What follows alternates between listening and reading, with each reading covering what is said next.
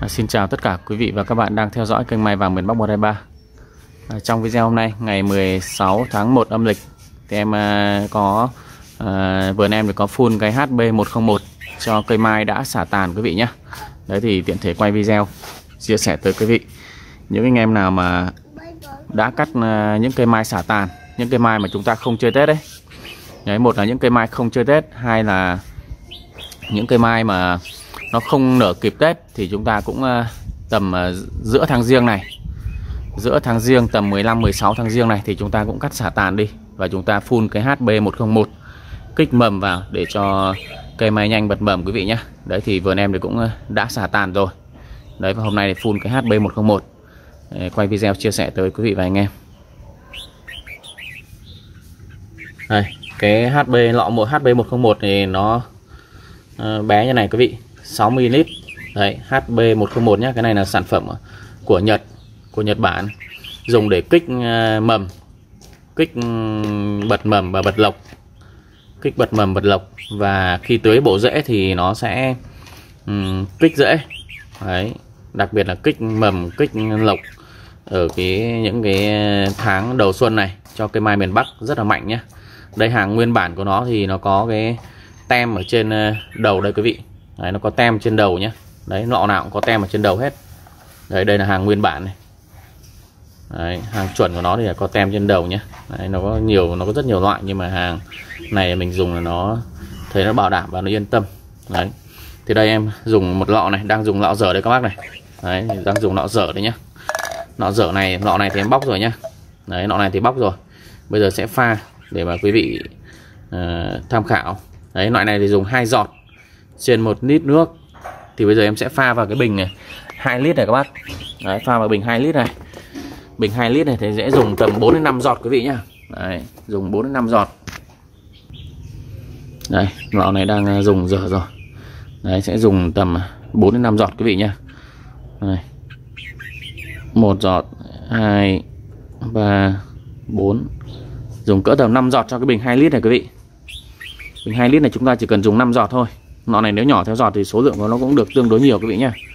đây chúng ta pha nước và lắc đều.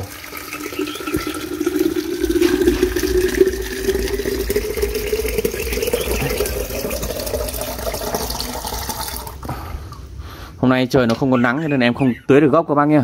Thế còn hôm nào mà trời nắng này mà đất nó khô thì chúng ta tưới thêm cả gốc. Thì nó kích thích phát triển bộ rễ nữa. Đấy, ngay khi đầu năm này cắt xả tàn thì chúng ta phun HB101 này rất hiệu quả trước đây dùng Atolic Atolic thì nó thành phần của nó bằng hóa học. Thế còn HB101 thì nó chiết xuất từ tự nhiên, từ thiên nhiên ấy. Từ cây tùng cây bách gì đấy, đại khái là nó chiết xuất từ thiên nhiên. Đấy. chúng ta lắc lắc đều bình. Đây, quý vị xem này. Đấy, cái bầu đất này này mấy hôm nay là thời tiết à, miền Bắc là nó mưa suốt à, cả tuần đấy mưa suốt cả tuần nên bầu đất không khô thế quý vị lưu ý là khi cái bầu đất nó khô ấy, thì quý vị tranh à, thủ tưới cái Ridumin Gold này nhé Ridumin Gold này tác dụng để mà ngừa thối rễ phòng thối rễ và diệt các cái vi nấm tấn công bộ rễ nhá. Đấy. Đây em vừa pha cái HB101 rồi. Thế giờ phun à, lên toàn bộ thân tay cành để quý vị tham khảo. Đấy nếu mà bầu đất mà nó khô thì chúng ta cũng tưới cả cái ở dưới đó các bác nhá đấy, bầu đất mà nó khô thì chúng ta tưới cả dưới nhưng bầu đất nó không khô thì chúng ta không tưới nha, cả nó thành ra dư nước. Đấy, dư nước nó sẽ không tốt.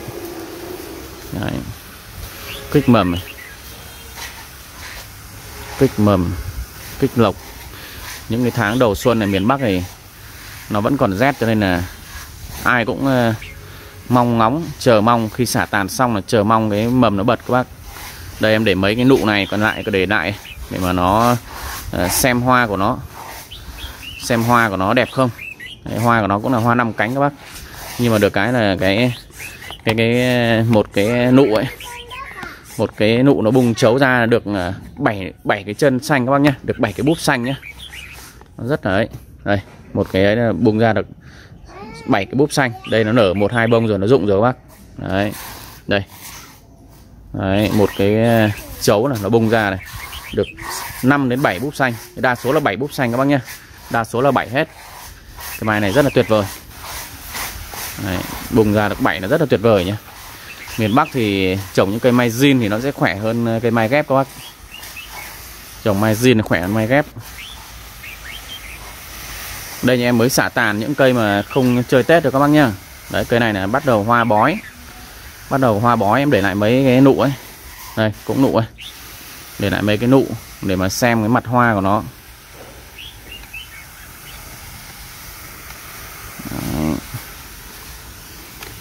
Đấy, phun toàn bộ thân đáy cảnh như vậy quý vị nhá. Đấy. Đấy, quý vị lưu ý là không không tưới gốc nha Nếu mà bầu đất nó ướt này thì không tưới gốc nha Cả nó dư nước nha Đấy. Đây nhà em đây là không tưới này các bác này. Không có tưới gốc này. Còn nếu bình thường mà đất nó khô ấy Thì em cả phun cả tưới luôn các bác. Cả phun cả tưới.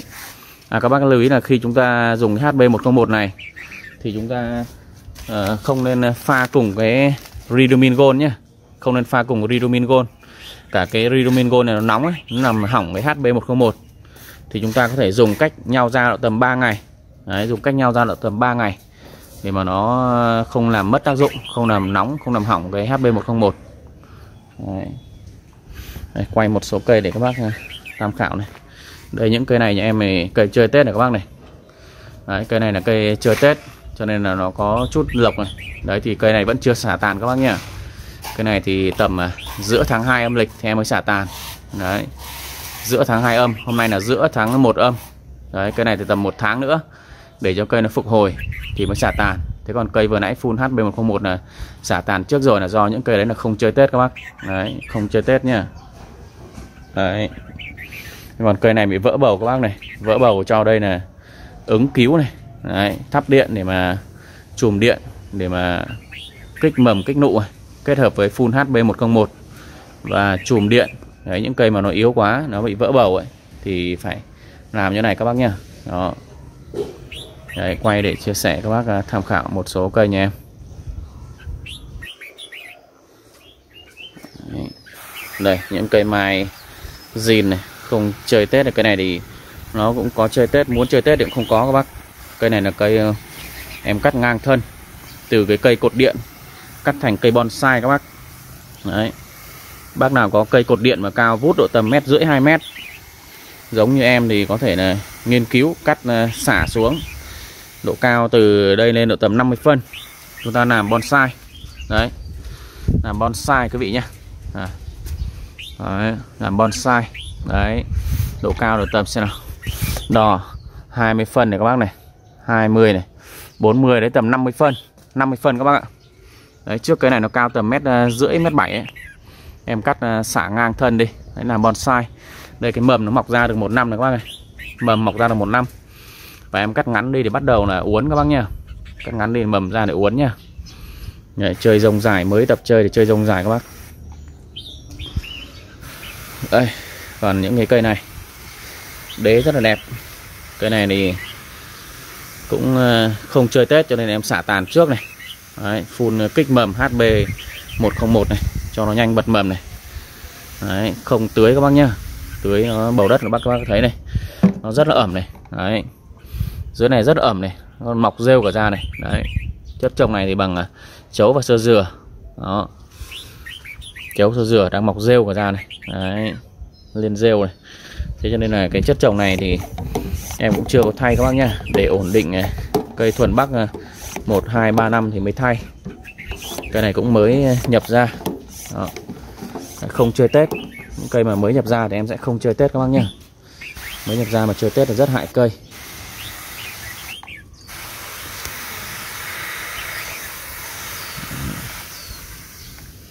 Rồi, ok, thì em xin phép kết thúc video tại đây nha. Xin ờ, cảm ơn quý vị và các bạn đã lắng nghe chia sẻ. Xin ờ, chào tạm biệt và hẹn gặp lại quý vị và các bạn ở những video tiếp sau.